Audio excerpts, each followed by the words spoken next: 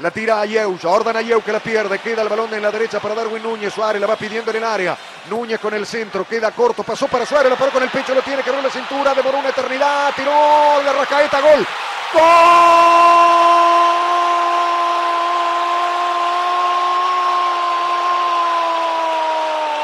de Uruguay de racaeta de cabeza abajo del arco, entró para empujar una muy buena definición de Luis Núñez que había tapado el arquero Sisi.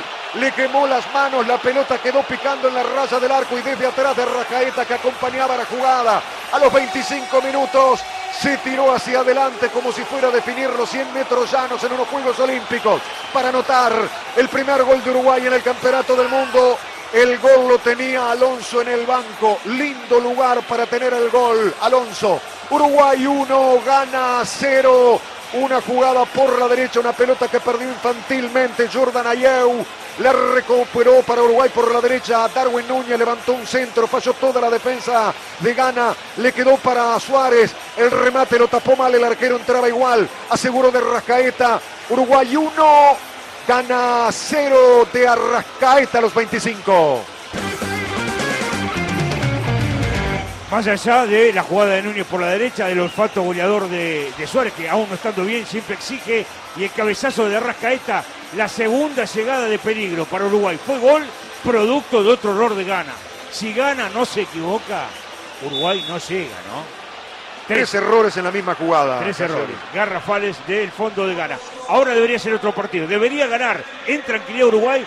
Gana está obligado a salir. Aquí viene de Gol de Arrascaeta. Corea. Y gol de Corea. Mientras tanto, aquí la pelota en el área le queda para Suárez. Termina sacando la pelota. Termina sacando la Martey. Se salvó otra vez el equipo de Gana. Y gol de Corea. Ernesto.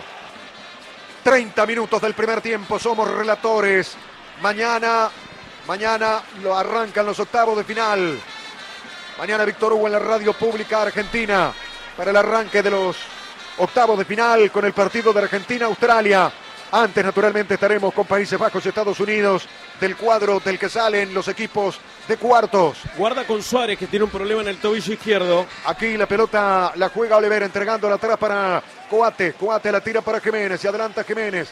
Jiménez cortita la va dejando para Valverde. Valverde la tira para Pelistri. Se cerró porque se abre Varela. La pelota va para Núñez tocándola para Suárez. La levanta para Terrajaeta. Tiene el segundo. ¡Gol!